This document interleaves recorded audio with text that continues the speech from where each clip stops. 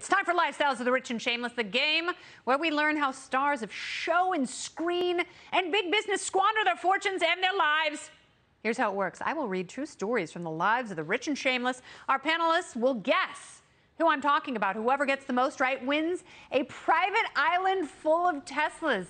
That's very exciting. I would like to play for that. However, I'm disqualified since I have the answers. Alexandra, Kevin, Dave, are you all ready? Absolutely. Yeah. I'll take you to my island if I win. Kevin, you are the most romantic person I know. If only.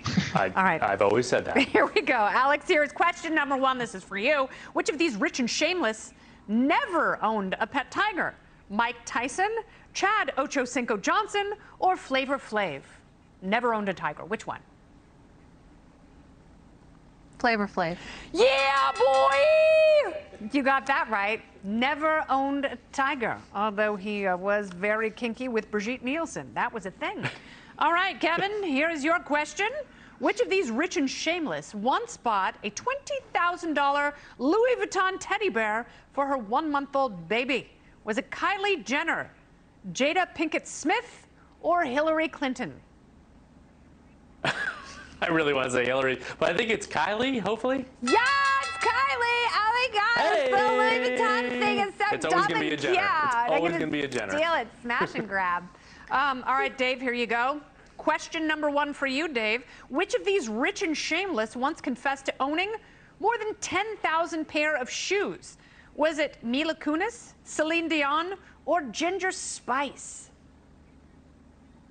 I'm going to go with Celine Dion.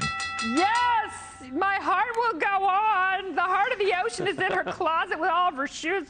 I don't know where you got all those shoes, but there are so many in they're mine. Um, that was a horrible accent. Okay, here you go. Alex, which of these rich and shameless once paid $55 million for a Kentucky Derby winning racehorse? Was it Microsoft co founder Paul Allen, Jay Z, or Rosie O'Donnell? Look at Rosie's face. That's Go with Rosie O'Donnell. That was the worst answer you could have given. That she is the least likely, and that's not true. It was actually Jay Z. He has a lot of money. Racehorses. He has galore. a big farm in New Jersey. Yeah, he does. he sure does. Great big farm. A lot of horses. Um, here you go, Kevin. Which of these rich and shameless couples reportedly spent $110 million on their wedding? Holy crap. Was it Prince William oh and God. Kate Middleton? Was it Prince Charles and Princess Diana? Or was it Chelsea Clinton and whoever she's married to? uh, oh, gosh. I think it's Anthony uh, Weiner, right? It's got to be the. no, his name is Mark. I don't know what his last name is. Exactly. But I think it was it was it is it the most recent royal couple? Uh, well, I know I William am, and Kate sometimes. would be the most recent. You, you, say that they spent more yeah, than Charles yeah, and Diana? Kate. Wrong! Yeah, I think so. No, no, it was, it was Charles and Diana. Yeah, oh. adjusted for today's dollars, it's like 75 billion. Okay. Yeah, yeah. Well, that's a lot of money. Dave, here you go. Which of these rich and shameless once famously threw a hotel room's television set out the window? Was it Keith Richards, Marilyn Manson, or Sir Elton John? oh, they all seem like they could have done that. Yeah. Um, it's a tough one. Just because he seems like the guy who wouldn't do that, I'm going to go with Elton John. Wouldn't be great? He is a world-class tantrum thrower, uh, but it's actually Keith Richards, which it's it's kind of surprising because he's got those skinny little chicken arms, you know, from years of treating his body great. Um, it was okay. a flat screen. And TVs back then, TVs it, back then were big. Is everyone know? tied?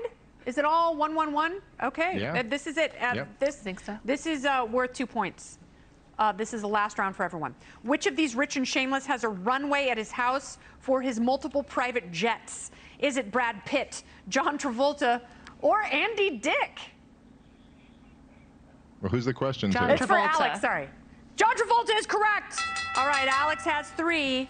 Kevin and Dave, the best you can do is tie. Kevin, which of these rich and shameless once spent a third of his country's national budget on a year-long party? Oh man, I'm going to vacation here. Uh, Dominican Republic dictator Rafael Trujillo, Libyan dictator Muammar Gaddafi, or North Korean dictator Kim Jong Un? Uh, I'm going to say Dominican Republic. And you would be right. Let's go have some cigars there, hey. Rafael Trujillo. Love the DR. God, uh, we're so going there, Kevin. It's going to be amazing. Um, all right, Let's Dave. do it with our EVs. Yeah, that's right. Our private Tesla island. Dave, which of these rich and shameless once had their pet monkey confiscated from them when they tried to bring it illegally to a foreign country?